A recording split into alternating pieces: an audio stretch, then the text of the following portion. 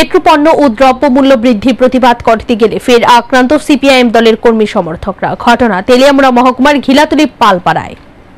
পেট্রোপণ্য এবং দ্রব্যমূল্য বৃদ্ধির প্রতিবাদে সারা রাজ্যে চলছে সিপিআইএম সহ দলের বিভিন্ন সংগঠনের প্রতিবাদ কর্মসূচি। আর এই কর্মসূচিগুলিতে যেভাবে কর্মী সমর্থকরা উপস্থিত হচ্ছেন, তা দুশ্চিন্তার কারণ হয়ে দাঁড়িয়েছে বিজেপি প্রার্থীদের।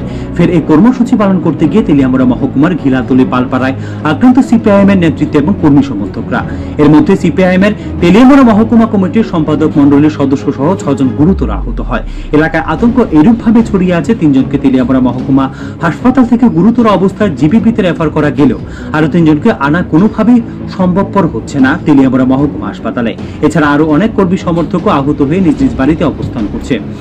আক্রমণ এমন পর্যায়ে চলে গেছে, আক্রান্তদের হাসপাতালে আনা সম্ভব হচ্ছে না। কারও কারোকে কল্যাণপুর অগ্নি নির্বাপক দপ্তরের দমকল কর্মীরা মহকুমা হাসপাতালে আনতে বাধ্য হচ্ছে। পুলিশ এক প্রকার নীরব দর্শকের রূপ ধারণ করে আছে এলাকা জুড়ে। বর্তমানে থমথমে অবস্থা এলাকা জুড়ে। এই ব্যাপারে বলতে গিয়ে সিপিএম খোয়াই জেলা কমিটির সদস্য জানান, এক প্রকার অরাজকতা চলছে রাজ্য জুড়ে। বিরোধী দল কোনো ধরনের কর্মসূচি গ্রহণ করতে পারছে না। যখনই কর্মসূচি হাতে নেওয়া হচ্ছে, বিজেপির দুষ্কৃতিকারীরা আক্রমণ চালাচ্ছে। তাদের এখন বর্তমান পরিস্থিতি। সকালবেলা আমাদের একটা কর্মসূচি ছিল দ্রব্যমূল্য পেট্রোপণ্যের মূল্য বৃদ্ধি এবং ভোগ্যপণ্যের মূল্য বৃদ্ধির প্রতিবাদ। এই কর্মসূচি করার জন্য আমাদের গিলাতলি পালপাড়াতে আমাদের বামফ্রন্টের আহ্বানে এখানে সবাই দাঁড়াইছে সোশ্যাল ডিস্টেন্স কোভিড বিধি মান্যা কর্মসূচিটা করতে এমন সময় বিজেপি দুর্বৃত্ত বাহিনী তারা আক্রমণ করছে। আক্রমণ করে আমাদের তারা যে যখন ব্যাক করে বাড়ি যেতেছে রাস্তায় রাস্তায় আক্রমণ করে এখন পর্যন্ত ছয় জনরে তারা গুরুতর আহত ইতিমধ্যেই তিনজন জীবিত রেফার হয়েছে। তবে এখানে এই অরাজকতা বা এই সন্ত্রাস নিশ্চয়ই এটা তাদের আতঙ্কের কারণ। আতঙ্ক থেকে তারা এই সমস্ত করতেছে, কিন্তু মানুষ এগুলি পছন্দ করতেছে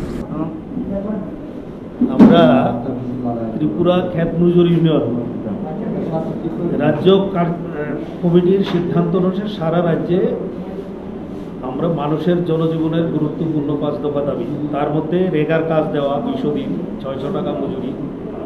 অতি মহামারীর সময়ে আমরা চাইছি যে পরিবারগুলো সাড়ে সাত হাজার টাকার নিচে আয় কর দেন না, এরকম লোকদের সাড়ে সাত হাজার টাকা করে তাদেরকে সাহায্য করা।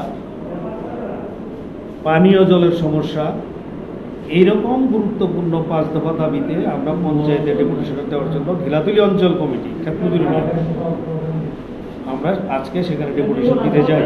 আমরা পালপাড়া থেকে মানে সুসজ্জিত মিছিল, সমস্ত কোভিড আইন মান্যতা দিয়েই আমরা মিছিলটা সংগঠিত করি। রাস্তার মধ্যে হঠাৎ করে পুলিশ এসে আমাদের জিজ্ঞেস করে যে আপনারা পারমিশন নিচ্ছেন কিনা। কিন্তু লক্ষ্য করার বিষয়, বিজেপির কিছু দুর্বৃত্ত বাহিনী, পনেরো বিশটা বাইক আমাদের মিছিলের পাশ কাটটা তারা অশ্রাব্য ভাষায় গালাগালি করে, তারা মিছিল সংগঠিত করে। তাদের ক্ষেত্রে পারমিশনের কোনো বালাই তাদেরকে কিচ্ছু করে নাই। কিন্তু আমাদের আটকায় দেওয়ার চেষ্টা করে। কিন্তু আমরা আগায়ে যাই যে আমরা ডেপুটেশন দেওয়ার জন্য আগায় যাই। কিন্তু পরবর্তী সময় দেখা গেল বিভিন্ন জায়গা থেকে বিজেপির দুর্বৃত্তরা আমাদের এই মিছিলটার উপর অতর্কিত হামলা করে। Report Mrinalini N N.